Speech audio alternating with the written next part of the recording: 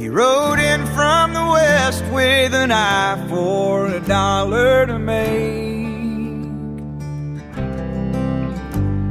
He pitched us a sale about healing and all from a snake.